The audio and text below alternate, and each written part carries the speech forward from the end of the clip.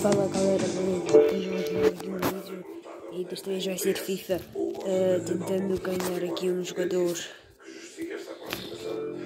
E, ao contrário de muita gente, acho que os debates são importantes e com bastante interesse, tirando os debates onde e o não tem nada exceto fazer-se passar por aquilo que não é ambientalista,